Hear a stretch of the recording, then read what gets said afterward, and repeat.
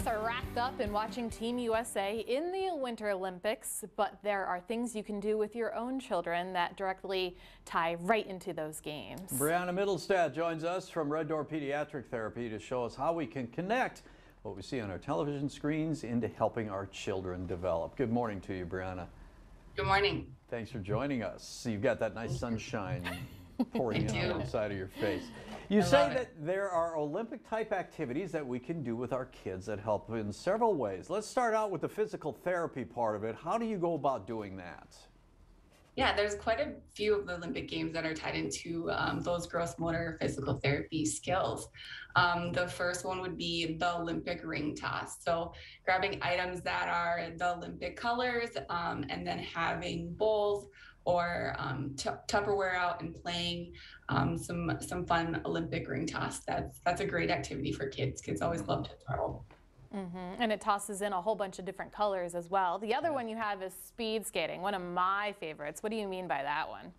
Yeah, this one's super fun. Um, putting paper plates on a kid's foot, um, just taping them on there, um, putting cones or obstacles around the room, and then having a finish line. So getting the friends involved, um, see who can skate fastest to the finish line. Okay, one of the sports that I think is becoming much more popular mm-hmm. all the time, and that's curling, and you've got some suggestions for that as well. Yeah, curling is super fun. Uh, you can have the kiddos have bean bags or even just a balloon um, and use a broom uh, to use the to to scoot that across the floor and then um, push to the number lines at the other end. Absolutely. Now, obviously, temperatures are cold out. There's ice outside right now. Hockey, another big one, but you can kind of bring this inside as well for the little kids. Yes, you most certainly can do that too. Same same concept. So either using a, bo- a pool noodle or a broom, um, and have a ball or a balloon, and create just a goal for the kiddos. Um, if it's even inside or outside, that's that's great. Uh, they can they can do it in any location. I want to see what your recommendation is for bobsledding indoors. bobsledding is so fun. So have the kiddo sit on a blanket, uh, have a family member or friend pull the blanket while the kiddo is trying to maintain an upright position. Work some of that core strength and stability, um, and it just makes for a fun activity. I think the last one here is figure skating, and I could just see a bunch of little girls dressed up in their pretty outfits and glitter and sparkles, uh, kind of just twirling inside. Is that what you recommend for this one, or what else do you I, have? Yes, that's a great idea. Um, trying to have them mimic or um, copy a dance move that you do too really works on that coordination and overall balance. Okay, those are physical therapy aspects of it. Now let's turn it over to occupational therapy. Start walking us through some of those.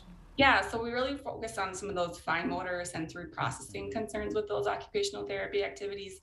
So painting Olympic rings is fun. Um, you can grade it by uh, having them use a paintbrush or they can use finger paint, which is really, really a great activity for those um, sensory processing skills. Uh, you can also paint a torch.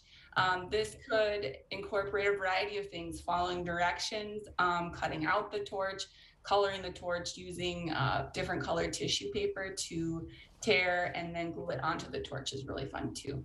So some little simple arts and crafts pretty much for the occupational side of that. We love that. And the other one here is speech therapy. And you're not talking about listening to the commentators saying, go, go, go, look at that, they're in first. You're talking about breaking it down a little bit more.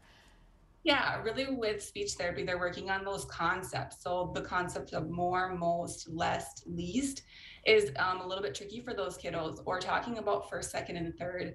Um, that's really fun um, to see who's coming in first, who's coming in second, who may be third.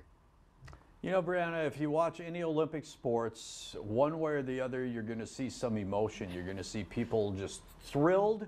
That could lead to smiles and laughter, or it could lead to tears. We've seen both. Talk about how emotion can be also part of that speech therapy. Yeah, some kiddos have a really hard time understanding the concept of emotion. So, really trying to show um, the child how they're feeling. So, saying, "Oh, look at that that um, gentleman. He looks really, really sad. He might be sad because he lost." Or, "That lady, she looks really happy. She must be the mom of the the skier who who just won." Um, trying to bring those concepts in so that they can see emotions of others and then start recognizing emotions within themselves. Absolutely. And then one last one here is kind of just following directions. Is that the case? that is the case, many kiddos struggle with following more than one step direction. So, um, first starting off with that one step direction um, and then moving to two. For example, uh, you are a downhill skier, um, first place your feet together and then bend your knees. Or you're a sprinter, you need to stretch. Can you touch your toes and then swing your arms in circles? Um, that kind of correlates to that Olympic aspect. You know, we were talking during commercial break before you came on how cold it is outside. The beautiful part, beautiful part about all of these things that you talked about, everything is suited to be done indoors. It is. It's great. You can do it outside too, but when it's cold and chilly like this, it's Yeah. most certainly fun to do in in the inside environment. Also with your um, siblings or even peers or daycare buddies or whatever it may be. Get the group together. Absolutely. So, Brianna, where can we find more information about Red Door Pediatric Therapy? Yes, you can go to our website, reddoorpediatric.com. Uh, you can also call our office, 701-222-3175. Brianna Middlestead, thank you so much. We really appreciate it. Stay warm. Thank you. yes, thank you. Have a good weekend, Brianna. All right, stay with us. We've got much more coming up in North Dakota Today right after this.